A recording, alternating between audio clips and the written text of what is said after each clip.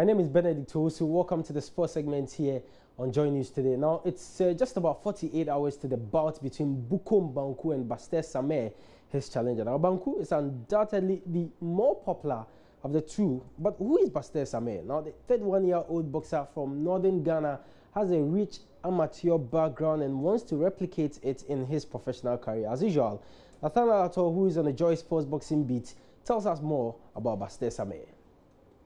In today's edition of the Joy Sports Boxing Diaries, we take a close look at Bastie Samir, a 2008 Olympian who has gone 16 fights undefeated, 15 of them coming by way of wins and one by a draw.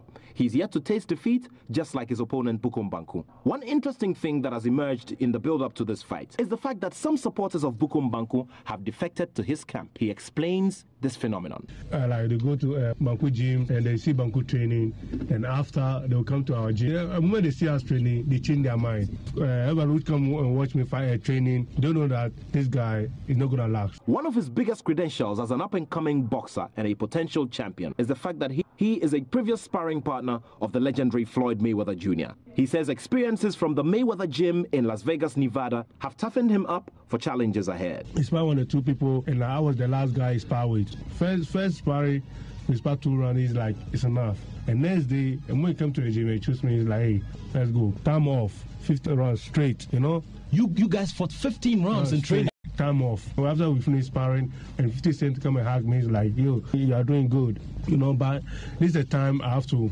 do something for myself, you know? Well, Bastie surely is determined to make a point come October 21. So the boxing bout is happening this coming Saturday at the Bukom Boxing Arena here in Accra. Now we have to shift from boxing and do some football. Black Starlet coach Parks Fabin is happy with his team's progression to the quarterfinals of the ongoing FIFA Under 17 World Cup in India. Now goals from Captain Eric Ayiah and Richard Danso gave Ghana a 2-0 win over Niger in a run of 16 tie yesterday. Now the team had so many chances uh, to you know kill off the game, including a penalty that was fluffed uh, along the lines. Coach Fabin, who expressed delight with their play, says they can only get better as the tournament progresses. Definitely, we, we are here. Everybody, I believe every team that has qualified has that mentality to, to win the trophy. So we are also thinking when, to, when Africans will play each other, we know each other so well, and therefore it's, it's very difficult. Even though we could have scored so many goals, it was a little bit difficult in the beginning until the penalty came and I mean calmed our nerves. So it's going to be another KG encounter, but we are prepared for any any anything. So that was coach of the Black Starlets team, Paa Kwesi Fabin, speaking after his side's uh, victory over Niger yesterday in a round of 16 ties. So they uh, they've qualified to the next stage of the competition. That's the quarterfinals, and they will be up against the Mali uh, that's going to happen, God willing, Saturday. So Ghana Mali is happening Saturday, 11:30. On the same Saturday, we have the USA England. That's also another quarterfinal game. Then on Sunday, two matches will be Spain, Iran, and Germany will come up against Brazil.